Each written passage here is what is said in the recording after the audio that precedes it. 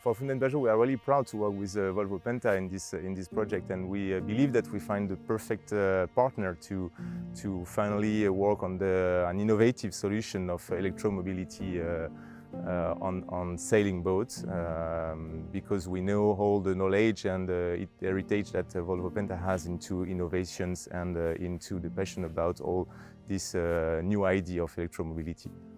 Yeah, and we are very happy to work with, with Fountaine be- because, um, as you mentioned, the innovation part is important to Volvo Penta, and we feel it's equally important to Fountaine Pajot. You have a great heritage of, of uh, innovation in your company, so we're very proud to work with you. And, and you have a big knowledge of, uh, of the customer and how they use their boat, which will be very important going forward. So it's very important for the collaboration, I would say.